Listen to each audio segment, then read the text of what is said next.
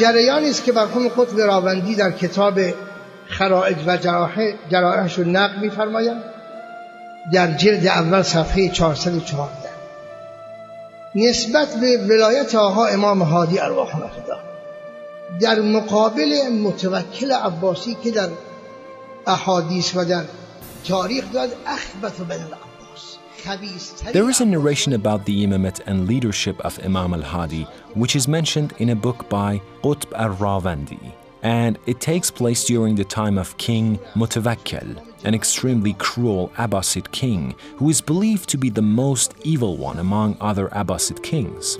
Mutawakkil was a cruel king who did not shame in doing any kind of insult at the tombs of our infallible imams.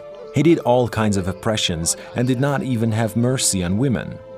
There is a very sorrowful incident which is quoted, and it is about an order made by Mutawakkil to make insult at Shiite followers of Ahlul Bayt and get rewards for that. How cruel someone could be. He put an extreme economic set of sanctions on Bani Hashem family and ordered to imprison anyone who financially helps them.